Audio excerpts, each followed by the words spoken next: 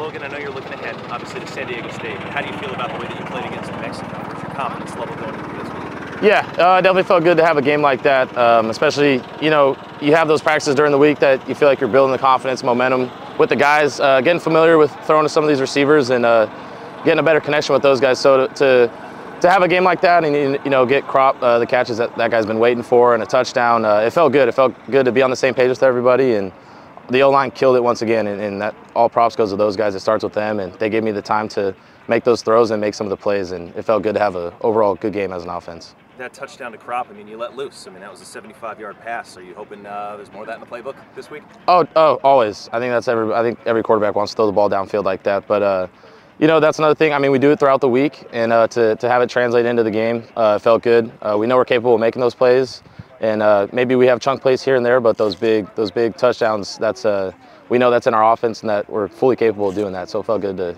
to get that one. Were you surprised on your rushing touchdowns that uh, there were no defenders near you? It seemed like on either one of them. Yeah, I, we knew that those guys uh, played heavy into the run, and uh, I think it was just one of those field plays that, um, few like going through the last few weeks, there's a few balls I felt like I could have kept, and uh, getting those looks during the week, I felt those guys getting more and more aggressive and and just uh, playing football, and there was nobody around, so that was nice. What do you think of uh, Bula representing uh, the team with a catch on the stat sheet? Yeah, that was funny. I was not expecting that. I was going to knock the ball down, and then I just felt his big body grab it, and I got thrown out of the way, and everybody started cheering. That was pretty funny. I, that guy, I know he had a blast doing that. So this team's now won a couple games in a row. Um, how's everybody feeling? How's, how's practice been uh, now that you guys have a couple of wins under your belt in a row? Good, good. The confidence is building. Uh, there's good energy around the locker room, and uh, it's something that, that we expect. We expect to win, and we know we're, we're well capable of doing that. And so uh, just trying to continue to get better every day at practice, in the in the film room, weight room, and uh, everybody's on the same page, keeping each other up, and, and uh, the confidence is definitely building.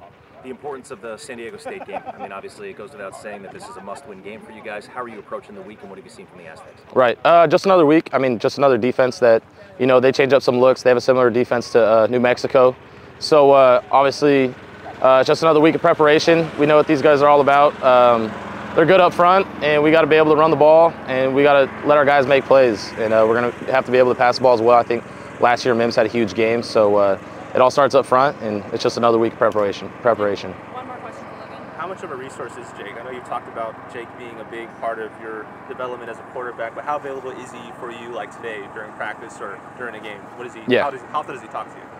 Uh, that guy's a huge help in all aspects. Even that's the first guy I talk to when I go to the sideline the last few games. Uh, so having him there helps a lot. Uh, the guy knows the ins and outs of football and schematics, and he's helped me come a long way as far as my mental my mental aspect of playing quarterback. So uh, having him near me all the time at practice and in the games has definitely helped, especially the last few weeks.